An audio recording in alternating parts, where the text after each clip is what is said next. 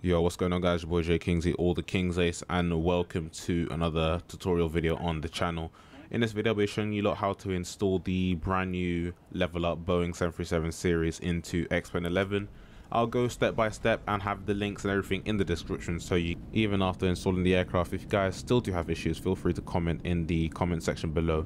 Or I'll also leave a link to the Discord server for where you guys can join their Discord server and ask the developers questions. But other than that, hopefully you guys do find this tutorial helpful. At the top of the description there will be a link which will link you to the threshold forum for where you can install the boeing 737ng series.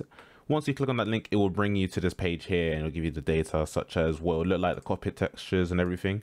And just to remind you guys you do need the Zibo mod 737 before installing this aircraft. And you can just go through this and see you got their discord and everything. If you guys want to join that then feel free but to begin off, for those who do not have accounts on the Threshold forum page, then you'll have to create one. So simply just go up to the top and just sign up and put in all your details and everything.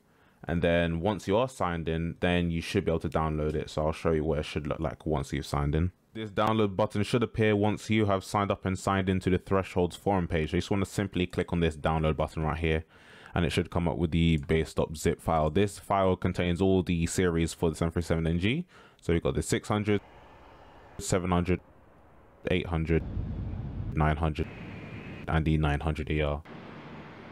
So you just want to simply press the download button here. It should download in five seconds and create a zip folder.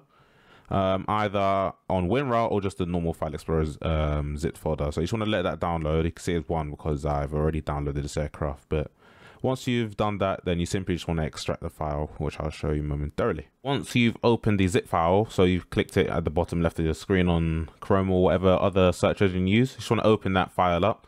And then inside that base.zip file will be the 737NG series right here. After you've got this, it's just a simple process of you dragging and dropping that file into the X-Plane aircraft folder. So by doing that, you want to head over to the hard drive that you have your flight sim installed on, and you go through Steam, Steam Apps, Common, X-Plane 11. Then you just want to head over to the aircraft folder, and then simply just get that file and just put it inside that folder, and you are done. Nothing else has to be done, so you can just load into the sim, and you'll have all the 737 aircraft available to you. So you can see it's extracting all that, but I'm actually going to cancel because I already have it right there. So real good for that, boys. But I'll show you what the aircraft looks like, textures, and it has brand new sounds. Everything is different. It is magnificent.